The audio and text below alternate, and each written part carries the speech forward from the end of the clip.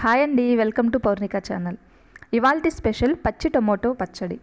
ఈ పచ్చి టొమాటో పచ్చడి చింతకాయ పచ్చళ్ళ అనిపిస్తుంది. వేడివేడి అన్నంలో దోశల్లో ఇడ్లీల్లో కూడా ఈ పచ్చడి చాలా బాగుంటుంది. ఇప్పుడు ఈ పచ్చి టొమాటో పచ్చడి ఎలా తయారు చేస్తారో చూద్దాము.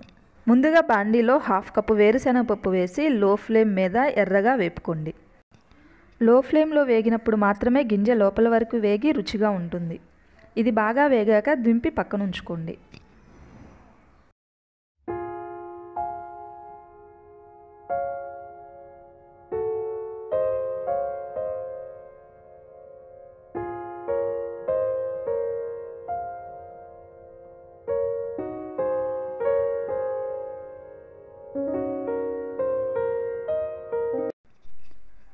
పావు కప్పు నూనె వేసి బాగా వేడెక్కిన తర్వాత పది నుండి పదిహేను పచ్చిమిర్చి వేసుకోండి. అలాగే ఐదు ఆరు వెల్లుల్లి వేసి ఒకసారి కలిపి మూత పెట్టి మీడియం ఫ్లేమ్ మీద మగ్గించుకోండి. మిరపకాయలు బాగా మగ్గాలి. బాగా మగ్గిన తర్వాత తీసి పక్కన ఉంచుకోండి. ఇప్పుడు ఇదే నూనెలో ఐదు ఎండుమిర్చి వేసి కాస్త ఎర్రగా వేపి తీసి పక్కన ఉంచుకోండి.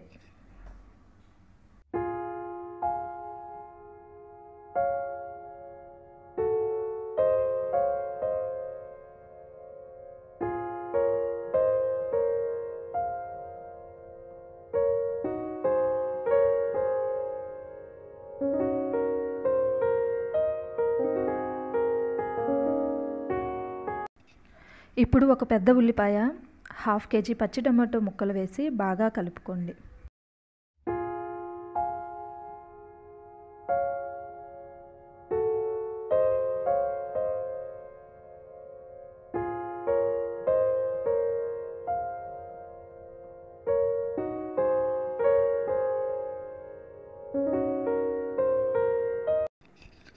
మూత పెట్టి మీడియం ఫ్లేమ్లో టమోటాస్ని బాగా మగ్గించుకోవాలి. టమాటాలు మెత్తబడటానికి కాస్త టైం పడుతుంది. ఈ టమాటో పచ్చడికి కాస్త నూనె ఎక్కువ ఉంటేనే రుచిగా ఉంటుందండి. టమాటాలు సగం పైన మగ్గాక కొంచెం సాల్టు ఒక టేబుల్ స్పూన్ జీలకర్ర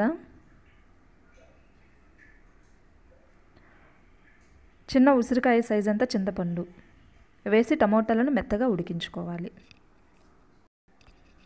ఈ పచ్చి టమాటాల పచ్చడి నాలుగైదు రోజుల పాటు ఫ్రిడ్జ్లో పెట్టకపోయినా కూడా నిలువ ఉంటుందండి. చాలా టేస్టీగా ఉంటుంది.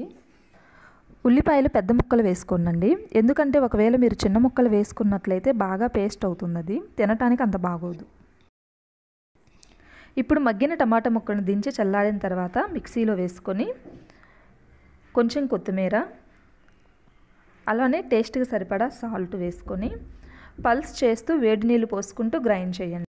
మెత్తగా కాకుండా కొంచెం కచ్చాపచ్చాగా గ్రైండ్ చేసుకోండి. అప్పుడే చాలా బాగుంటుంది దీని రుచి. ఇప్పుడు ఒక టేబుల్ స్పూన్ ఆయిల్ హీట్ చేసి దానిలో కొంచెం ఆవాలు కొంచెం జీరా శనగపప్పు వేసి వేయించుకోండి. తర్వాత కొంచెం ఆనియన్ వేసి జస్ట్ వన్ మినిట్ ఫ్రై చేసుకోండి. దీనివల్ల మనం అన్నంలో తినేప్పుడు పంటి కింద పడి రుచిగా ఉంటుంది పచ్చడి.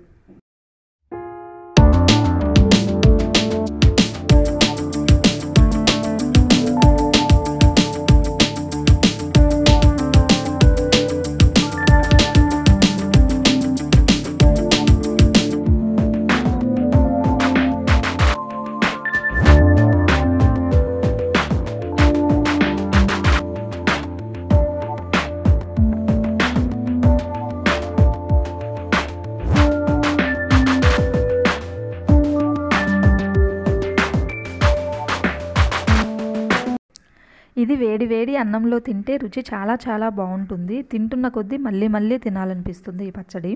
మీకు నచ్చినట్లయితే మీరు కూడా ట్రై చేయండి. మీకు ఎలా కుదిరిందో కామెంట్ బాక్స్లో కామెంట్ చేయండి.